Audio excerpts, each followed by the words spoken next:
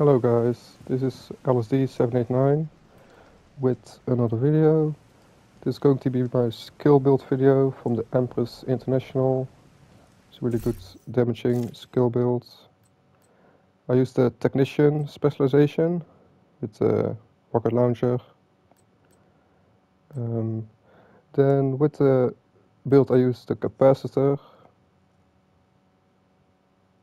because it has the capacitance. Shooting the enemy builds a stacking to a cap of 40, each stack granting you 1.5 skill damage.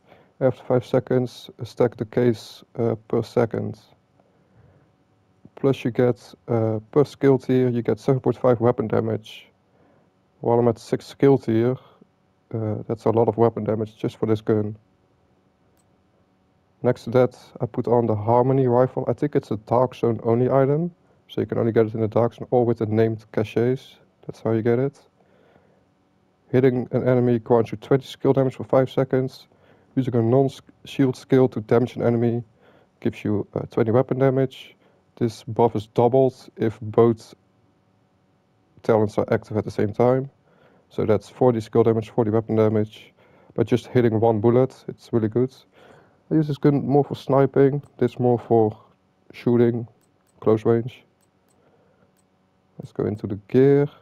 I use the Empress International. If you have three pieces on from the Empress International, you get skill health, skill damage, skill efficiency. The skill efficiency is everything that has to do with skills, like skill haste, skill duration, skill health. It even gives you skill damage, the skill efficiency. So that's why the Empress International is really good just gives you all things that has to do with skills. Um, on the pieces I use skill damage, armor regen and protection from elites. Why I use protection from elites I go in, into uh, in a second. Um, I have a normal Empress International chest piece with skill damage, armor regen, protection from elites and glass cannon. All damage you deal is amplified by 25%. All damage you take uh, will be amplified by 50%. So you will do 25% more weapon damage, skill damage, anything that has to do with damage, you will do 25% more damage.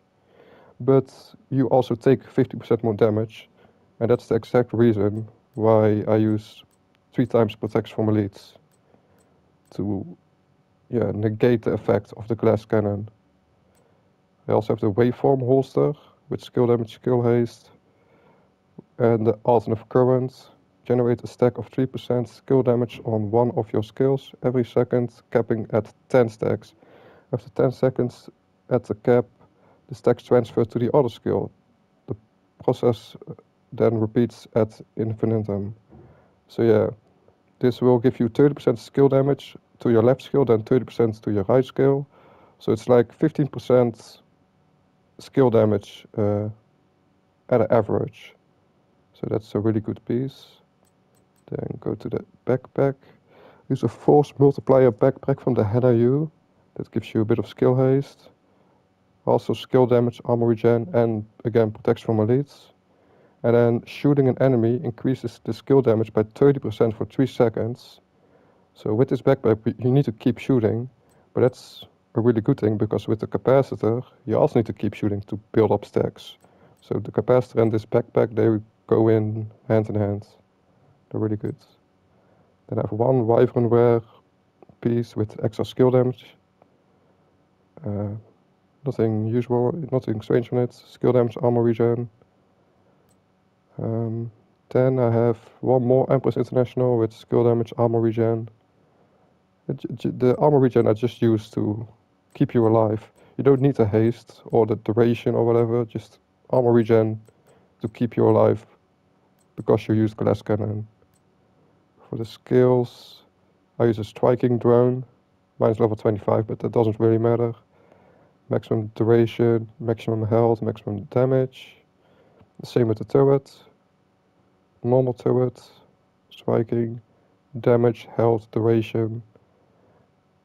This turret, you just put it down in a legendary mission and the enemies can't even kill it and it does just good DPS on the enemies.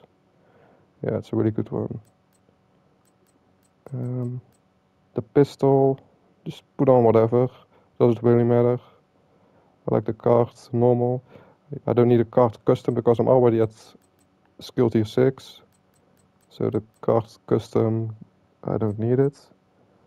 Also a thing to mention is, because you have the technician specialization, you get a skill tier. And you don't need a skill tier on all the pieces. If you look on all these five pieces, I have one skill tier. But if you look at my gloves, I have an armor core because if I put a skill tier on this one, it goes to waste because the technician already gives you a skill tier. So in this case, I just put an armor piece on to negate the glass cannon again. Mm. Let's go to the stats. Capacitor, the harmony rifle, the pistol, the rocket launcher. Weapon damage is whatever. I think the capacitor gives you crit chance and crit damage, so that's a good thing. Um, armor is at 1 million, armor regen is 24,000. That's because of all the armor pieces we have. Health regens, whatever. Protection from lead is 37%. So you still take more damage with the glass cannon, because that's 50%, but from the elite you at least take 37% less damage and that's about it. Skill damage 88, 3,500 almost, health. Um, almost 7,000 health for the turret. 1. Uh, 184, uh, 148 damage. And then, yeah, that's about it.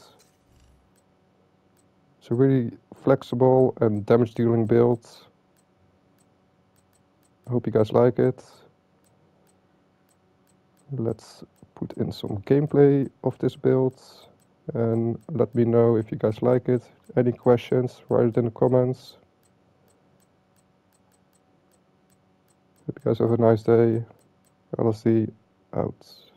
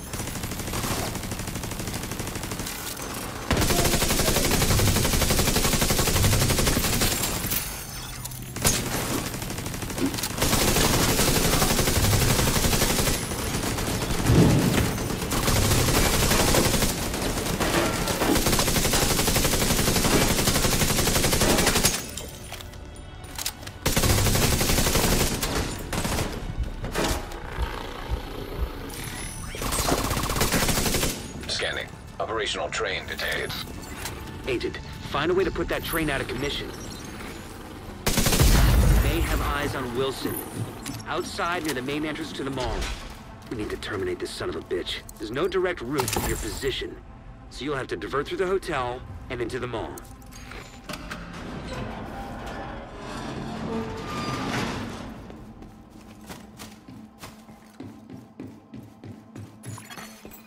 Hostile radio intercepted. Get the munitions. We gotta secure the ordnance. Negative. The subway's compromised. Then find another way.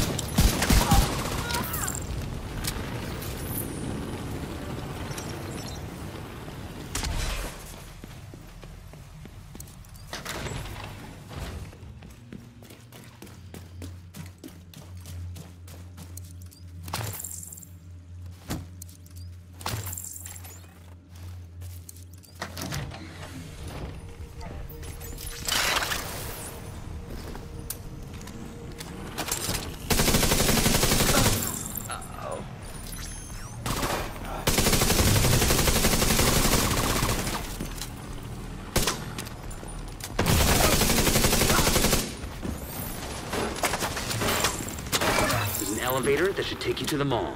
Wilson is still by the entrance. We've spotted a mortar team with him. These are probably the fuckers who attacked the castle.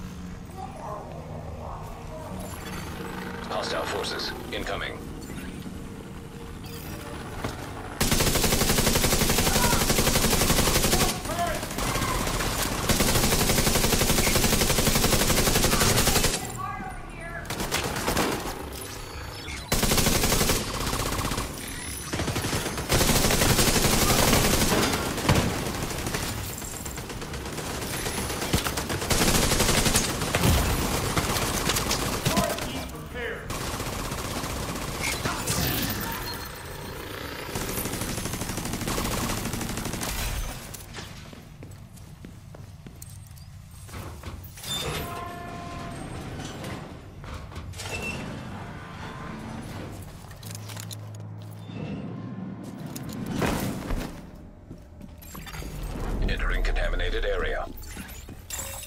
DC-62 toxic detected. Contamination level lethal. What the hell? These readings are insane. They must have a lab nearby for weaponizing this shit. Make sure you put it out of operation.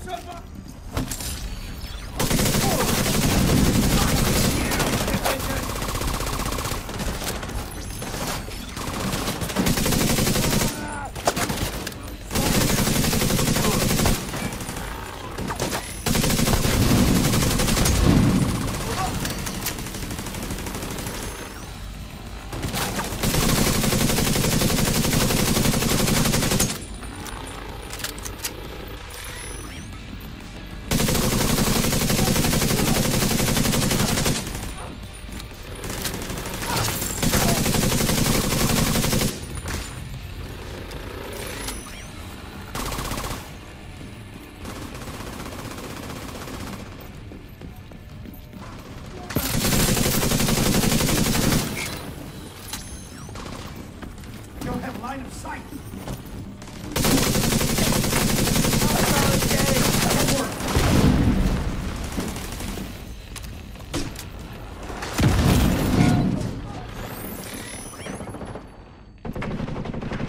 Excellent. I'll send in a team to dismantle the rest of that crap once you clear the site.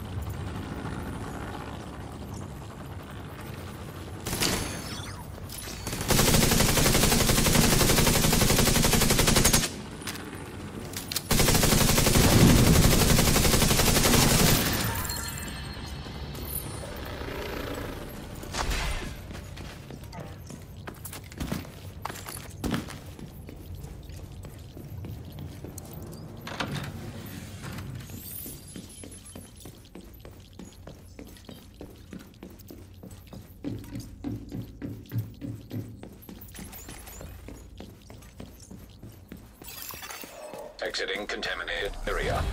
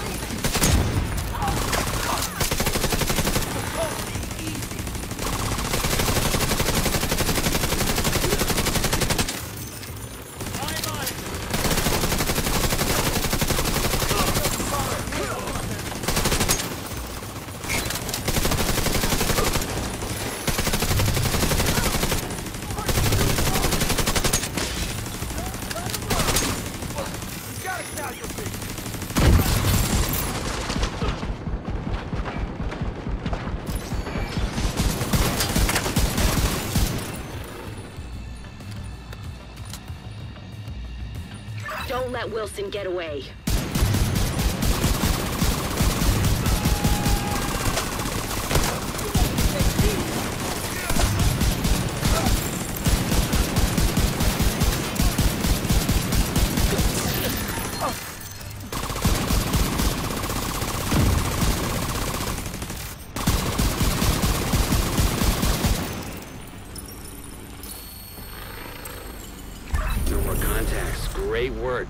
Wilson's unit is out of action, and you've crippled True Sons' chemical warfare efforts. Also, Kelso just reported in to confirm the survivors from the castle settlement have safely reached the rooftop settlement. There's no one doing what happened to them, but at least you've made sure it won't happen to anyone else.